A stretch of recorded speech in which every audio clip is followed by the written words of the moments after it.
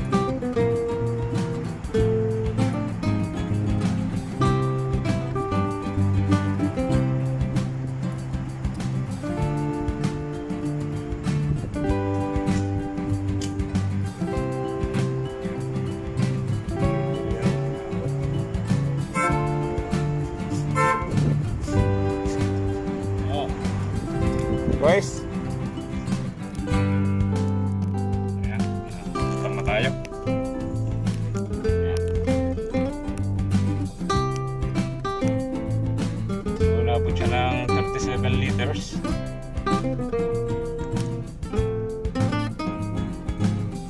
Eighty-one real ang ating uh, binayaran. Grabe, ang taas na lang ang gasolina ngayon dito sa Saudi Arabia. Mahal na.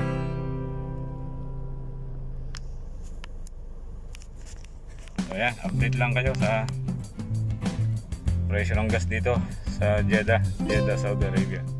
Tayo sa ating road trip going to Palestine Strait.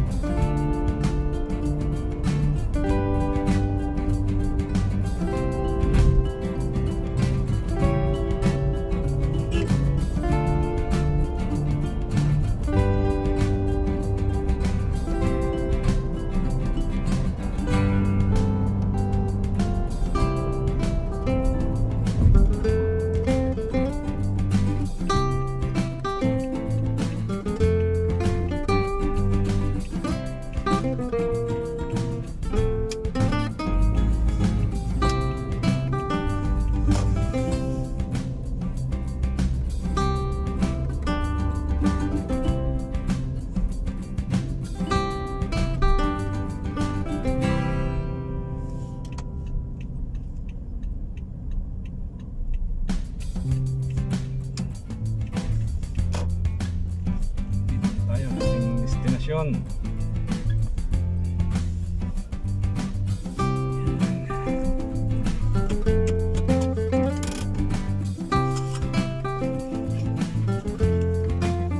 Salamat. Salamat sa inyong uh, panonood. God bless. God bless us all.